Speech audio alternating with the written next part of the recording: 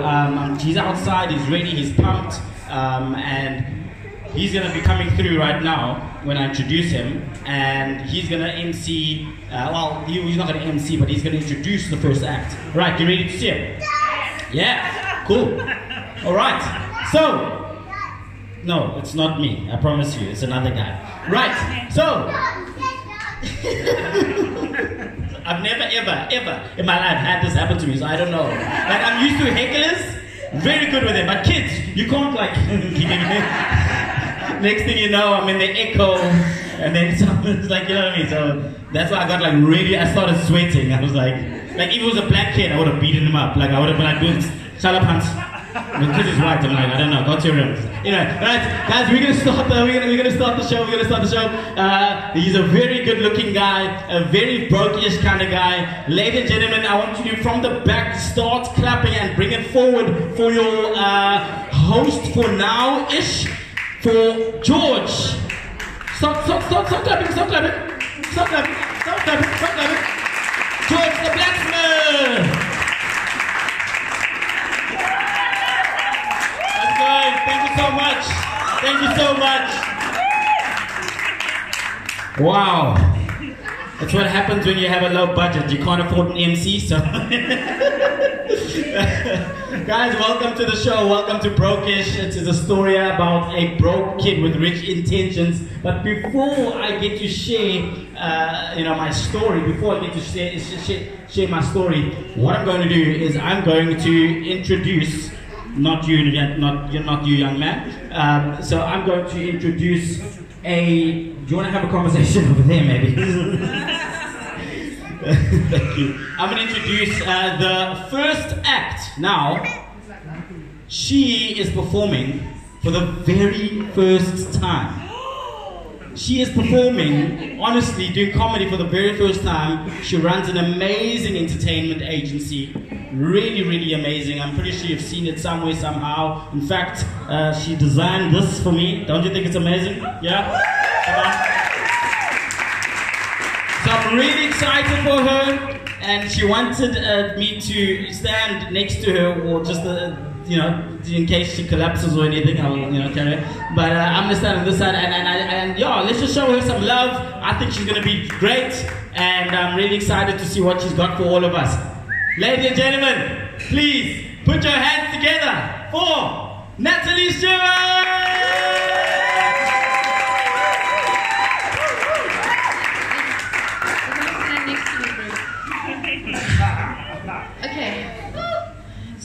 It's a bit nerve-wracking this whole situation, and I've got I've got notes. Sorry, but they, were, they were on my hand, but then I decided to just make a paper note. I made these pants especially for you, George. so so basically, so basically, I met George um, at the Brass Bell a few years ago, and uh, he was asking me for a job, but I didn't realize he was talking to me. so he started working for me, you know, like um, soon after high school, and I had to teach him a lot. So, you know, he be- basically became my pupil. so after after you know working together, we had a really good time. You know, we used to take the piss out of each other a lot while we were at um, work, and um, probably been working for me for about four four days, and I got a phone call at oh dear, that's my baby. Do you want to come stand by me? Yeah. Okay. He'd been basically working for me for about four days, and I got a phone call at half past eleven at night, and he's like, I'm at your house. Uh, Can I sleep tonight? Oh, sorry, I know he doesn't talk like that. Can I sleep tonight? And he, I was like, George, stop making a spectacle of yourself. Oh, babes, mommy's talking. Um, so this continued to happen for quite a few times. So a few years ago, we, we, we actually went to go watch a comedy show together, and uh, at the end of the show, there was uh, they were throwing out T-shirts to the audience, and I was like, my brother, go, go, you can catch two at the same time. and obviously I've just been like, you know, taking the piss out of him a, a, lot. So he's been actually staying with me for the last uh, like two weeks. And um, he's, talk, talk. He's, uh, oh, you're not bigger, sorry. Just George, sorry guys, sorry about this, sorry.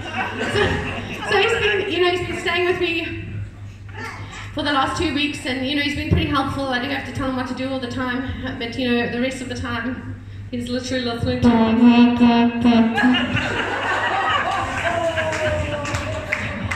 He literally just spends the rest of his time listening to iTunes. so, my toddler, this is my toddler, obviously, the whole week he's been nagging me. He's like, please, please, please, can you go to the park? Can you go to the park? I'm like, I'm so busy. I've got so much going on. I, I don't have. I, I, so, George is like, I can take him to the park. So, I was like, cool, then you'll have some supervision. And I gave them some money so they could buy some ice cream.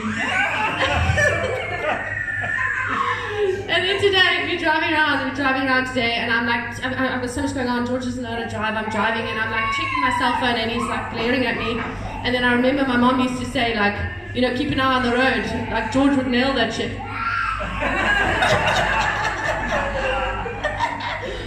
and the other night, we were watching TV, and George is um, there's all these hot Australian chicks on the TV. George is like, mm, I want to go live in Australia.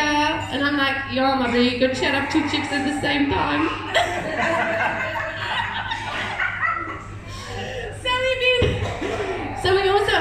fancy dress shop in Muizenberg. If you ever need fancy dress costumes, we have the best costumes ever. And I keep trying to get George to do a fancy dress to like event or party. You know what I mean? Like he could go as a sailor or a pirate, and we could be like, oh yeah, captain.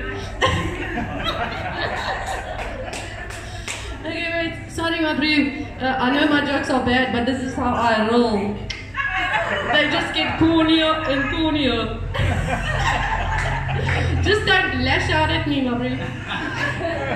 You know, when you're a comedian, you gotta be a little bit smart, you know what I'm saying? You gotta have like a high IQ. After a while, you know, we did. After a while, he stopped working for me because we basically couldn't see eye to eye.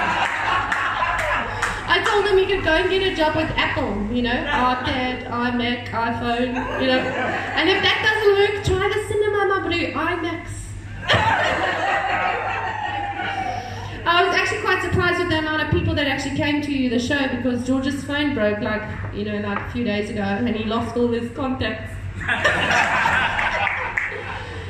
so the last thing I'm going to say, I don't know if you, I hope you all saw his poster, you know, his poster for the show. He's got a photo of George pulling a face like, and, and, and it's, it's brokish. So any, you know, any normal person would look at the poster and be like, yeah, brokish, he's brokish, that's why he's pulling that face. But actually, he's trying so hard not to be squint that that's how he's pulling the face.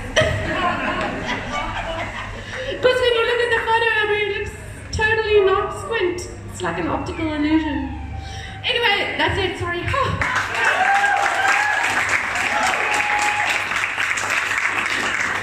Me everybody. For your first time, I think that was good. I think it was good.